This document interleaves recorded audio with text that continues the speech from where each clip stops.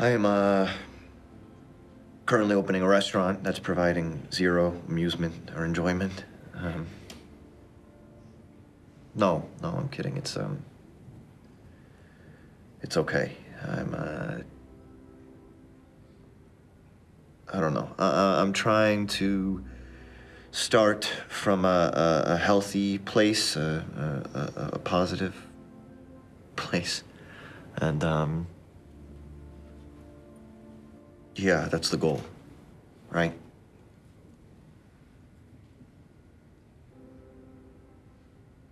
I think when I was a kid, um, anything that would give me any sort of excitement or, or, or amusement or enjoyment, uh, it always got kind of fucked.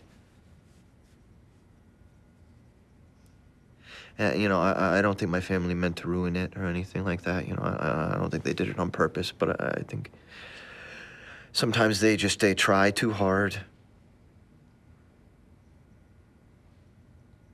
You know, or they'd make promises that they weren't able to keep.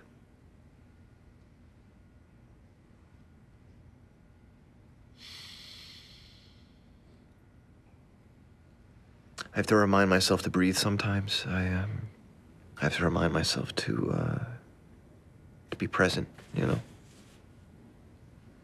remind myself that the sky is not falling. That um, there is no other shoe, which is incredibly difficult because there's always another shoe.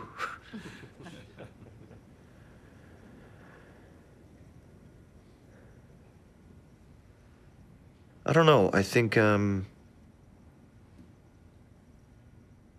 you know, maybe if I could provide more, more, more amusement or, or enjoyment for myself, it would be easier to uh, to provide for others. You know, I don't know. Um, yeah. Anyway, I'm happy to be here. Thank you guys. Thanks for letting me share.